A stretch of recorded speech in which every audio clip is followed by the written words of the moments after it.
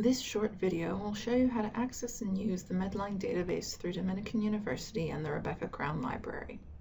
As a Dominican University student, faculty, or staff, you can access a variety of databases through the library's website. To access Medline, start at the Rebecca Crown Library homepage. Under Find a Database or Article, there is a drop-down menu. Scroll down until you see Medline with full text.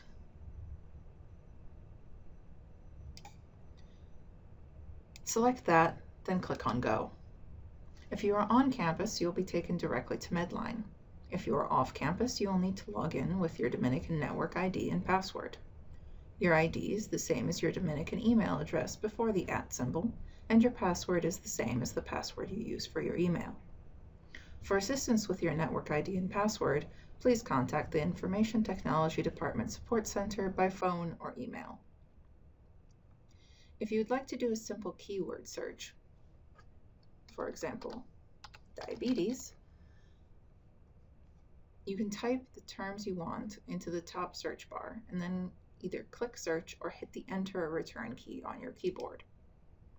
This will take you to your search results. Before we go on, please note that a keyword search is like a basic Google search.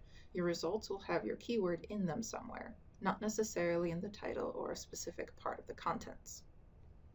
A quick search like this can give you too many results. You can use limiters to narrow down your results. Using these, you can limit your results down to only full text available, only those with abstract available, or only those in English. The publication date slider allows you to type in the years you want or move the sliders to limit the results to publications in a particular range of years.